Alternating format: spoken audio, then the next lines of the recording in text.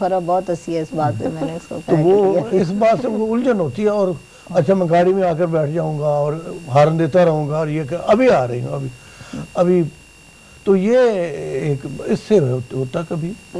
और ये मैं नहीं गुस्सा करता ये करती हैं कि आप क्यों इतनी जल्दी शोर क्यों मचा रहे हैं? तो इस अलावा इसके कोई और ऐसा मसला तो कभी कॉन्फ्लिक्ट नहीं हाँ। कैसे होता है? ज़िंदगी आपने तो गुजारी है माशाल्लाह। तो ज़िंदगी में और ख़ास तौर पे मियाँ बीवी के रिश्ते में कामयाबी के लिए क्या गुर ज़रूरी है? क्या हुनर आना चाहिए? आपके हैं जहन में कुछ ऐसा कि क्या चीज़ रिक्वायर्ड होती हाँ? to मैं तो ये समझता हूँ। कि जी एक दूसरे का जो है उसका ख्याल रखा जाए जज्बात का और एक दूसरे की अना का और एक दूसरे की तो फिर ये मसला जो है कोई उलझन पैदा नहीं होती। ठीक। अच्छा अब ये जो है ना अगर आप सारी अपनी शर्तें मनवाएँ फिर तो नहीं होता ना। ठीक है। तो दूसरे की जो है आदतें या दूसरे की जो शख्सियत है उसका ख्याल रखा जाए तो फिर जाके तो मैं मसलन मैं हाँ मसलन अब ये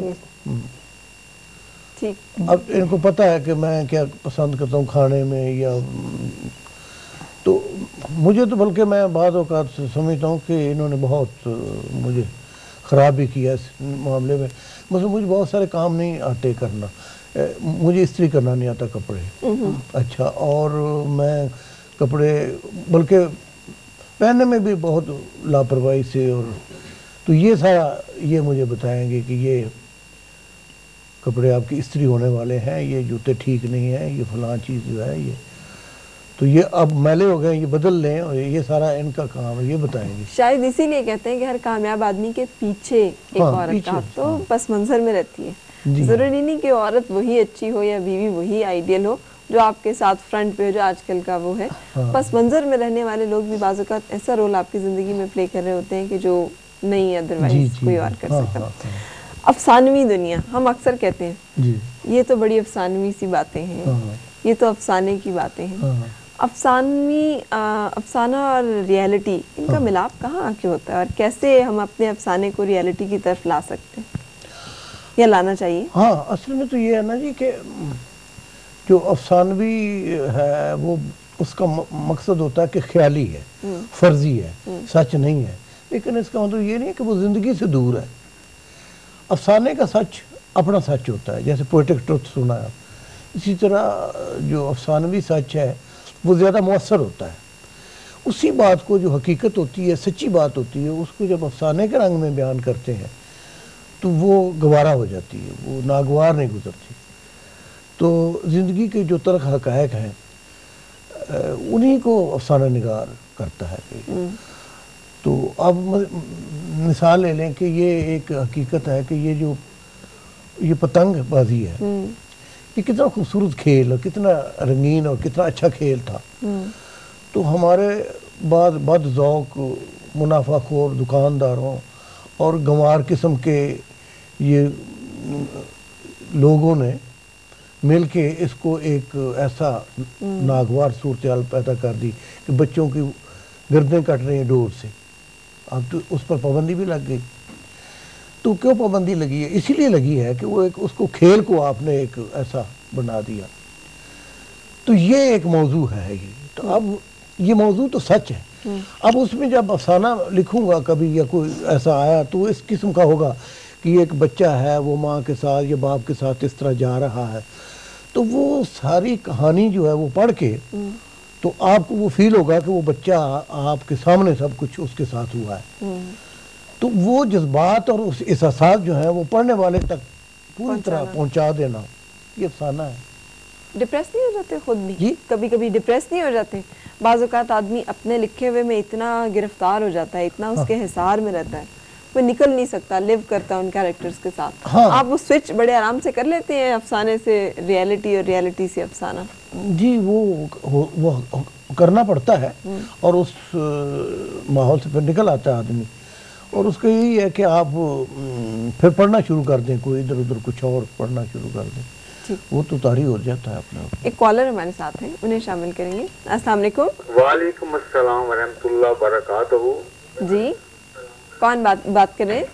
मेरा नाम बाबू मोहम्मद अकरम है जी। मैं मेरा नाम बाबू मोहम्मद अकरम है। मैं सरमाया सचैया से बोल रहा हूँ। मुझे अपने मोशन से जो मेरी बड़ी माजी के उनसे बात है। दरअसल अब आपको अपनी टेलीविज़न की आवाज़ आहिस्ता करनी पड़ेगी और जो लोग प्लीज़ सब लोग कॉल करने का सोच रहे हैं अपने टेलीविज़न की आवाज़ बंद कर लें वरना एक बड़ी नागवार सी सूरत हाल पैदा हो जाती है। ये है जी। ये है कि मुझे इनसे ये इन्फॉर्मेशन लेनी है कि मैं इनको पिछले सदी की बड़ी से जानता हूँ पैंठ से लेकर सत्तर से पहले से भी जानता हूँ। मैं से इंफॉर्मेशन ये कल्बे सलीम के मालक मुझे नज़र आए इनकी जो पर्सनैलिटी है वो बदली हुई है। अल्लाह जल शाना ने अपने लामदूद इलम से इन्हें इतना इलम अता फरमाया है कि इबन आदम के राहों से कांटे चुन रहे हैं और फूल बखेर रहे हैं मेरी सजेशन से ये है कि मुझे ये बताएँ कि मुझे पुरानी किताबें पढ़ने का शौक है और नए आदमियों से बात करने की बात है। ना मुझे पुरानी किताबें मिलती हैं ना नए आदमी मेरी बात सुनते मैं क्या करूँ? आप तो बड़ी मझधार में हैं। आपके लिए वो शेर है। छोटी सी इनसे मेहरबानी फरमा दें। बिल्कुल ठीक हम ये डिस्कस कर रहे हैं। आपको समझ आई जी जी जी जी। क्या कहना चाहेंगे? जी अब पुरानी किताबें तो मेरे ख्याल में लाइब्रेरियों में तो मिल जाती हैं। और बस इनके लिए है कहते हैं दोहरी अजियत हम दोहरी अजियत के गिरफ़्तार मुसाफिर हाँ हैं, संडे शॉप्स पर बहुत किताबें अब तो मैं समझता हूँ कि इसकी बाकायदा दुकानें जहाँ ओल्ड बुक शॉप जो है ना शहरों में लाहौर में बहुत हैं अनारकली जो है वो उसके फुटपाथ पर मिल जाती हैं। किताबों की दुकानें हैं ओल्ड बुक शॉप्स पर। ठीक। मौजूआत जो आपने चुने। जी? मौजूआत जो आपने चुने हैं जी। अपने अफसानों में वो कहाँ से ढूंढे आपने वो किरदार वो मौजू? वो हाँ वो ढूँढने की ज़रूरत नहीं पड़ती। वो तो आप अगर आँखें खुली रखें और मुशाह हो आपका तो वो तो आपको कदम कदम पर आपको कहानियाँ मिलती हैं। जितने इंसान है उतनी कहानियाँ हैं। हर इंसान के अंदर कई कई कहानियाँ हैं कई कई मसाइल हैं आप ज़िंदगी के मुश्किलात हैं वो सारी वो कहानियाँ हैं सब। जब आप कोई कहानी लिखने बैठते हैं जी। तो क्या प्रोसेस होता है? मंटो साहब के बारे में जैसे कहा जाता था कि वो वो सारी पेंसिल स्टॉप करके रख लेते पहले थे। पहले वो इस तरह होता है कि वो कोई बात आपके कहीं अटक जाती है। चलते फिरते उठते बैठते लिखते पढ़ते ना कोई नुक्ता कोई बात। तो फिर वो उसके गिर्द वो एक एक प्लाट सा जेन में खुद ही एक बढ़ना शुरू हो जाता है। कुछ किरदार आ जाते हैं कुछ। कि इस बात को किस तरह करके बयान किया जाए? तो वो भी एक, एक खाका सा उसका एक ढांचा सा आपके जेन में आ जाता है। अब मैं उसको जब लिखने बैठता हूँ तो उसका कहानी का जो अंजाम है यानी आखिर है एंड है वो आपको नज़र आना चाहिए। तो मैं उस सारी कहानी को एक दफ़ा आँखों से देख लेता हूँ धुंधली धुंधली सी। फिर मैं लिखने बैठता हूँ।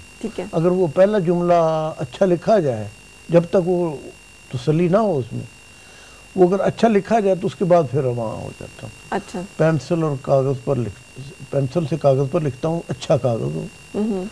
और उस वक्त जब मैं शुरू करता हूँ तो मुझे एक तन्हाई का या एक सुकून का माहौल चाहिए। जब मैं उसमें इन्वॉल्व हो जाऊँ तो फिर आप ढोल बजाते रहें जो करते रहें फिर मैं उसमें फिर फिर नहीं आप निकलते फिर मैं- हाँ, एक ट्रांस किसी कैफियत हाँ। होती है जिसमें आदमी चला जाता है। तो आपने ड्रामे भी लिखे हैं। जी ड्रामे। किसमें अ, इसको भी आप इसमें भी सेटिस्फाइड फील करते हैं? वही स्केल होता है आपकी सेटिस्फेक्शन का वही लेवल होता है जो आप एक अफसाने में महसूस करते हैं खुद को एक्सप्रेस करके।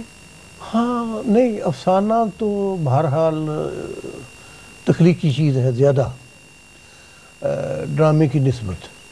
ठीक है आप इसमें ज़्यादा कंफर्टेबल महसूस करते उसमें हाँ। तो इसमें थोड़ा सा कोई थोड़ा सा आ जाता है जिसमें आप को कमर्शलिज्म भी आ जाता है थोड़ा सा उसमें दूसरों का ख्याल रखना ए, कि किरदार किरदार है उसमें लोगों के लिए पसंद। उसमें आप अकेले होते हैं और आपका क्रिएशन का जो अमल होता है वो डिस्टर्ब नहीं होता। इसमें डिस्टर्बेंस होती है। ठीक। ड्रामा लिखते हुए आप मसलन ये देखते हैं कि हर किस्म का व्यूअर है। ठीक है। और हर किस्म के जो लोग हैं उन तक ये बात पहुँचे। तो ये ऐसा कोई जुमला ना लिखें जो जिसकी समझ ना आए सुनने वाले को। तो बहुत सारी पाबंदियाँ होती हैं। बहुत सारी पाबंदियाँ हैं। और फिर आसान सा है ना देखने वाले के लिए। ना उसको गौर करने की ज़रूरत है। सब कुछ तो तस्वीर की सूरत में सामने आ गया। सही। मुझे ये बताइए किस तरह के लोग आपको अच्छे लगते हैं ज़िंदगी में? कैसे अच्छे लोग? लगते हैं लोग? बस जो मैं समझता हूँ कि जो जहनी तौर पर मेरे हम ख्याल हों या जो जहनी तौर पर ऐसे हों कि जिनसे मुकालमा करे आदमी कोई बात करे तो वो समझ रहे हों। तो यानी एक जहनी हम आहंगी जो है ना वो ज़रूरी है। किसे कहते हैं जिनी हम आहंगी जो बात कही जाए वो समझ जाए दूसरा। देखिए ना। एक कुछ लोग हम आहंगी इसको कहते हैं हम कहें भी ना और दूसरा समझ जाए। नहीं वो ये होता है ना कि मैं मसल लिटरेचर का आदमी हूँ तो ज़ाहिर है मेरी दोस्तियाँ ज़्यादा जो हैं लिटरेरी लोग वो लिटरेचर के लोगों से होंगी और शायरों और अदीबों से होंगी और उनमें भी वो लोग जो नज़रियाती तौर पर आपके करीब हों। हर आदमी के नज़रियात मुख्तलिफ़ होते हैं सियासी और ज़िंदगी समाजी नज़रियात अलग अलग होते हैं। पसंद नापसंद अपनी अपनी होती है। तरजीहात